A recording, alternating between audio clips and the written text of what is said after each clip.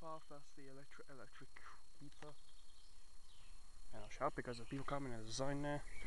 Back of someone's garden. And the person behind me, so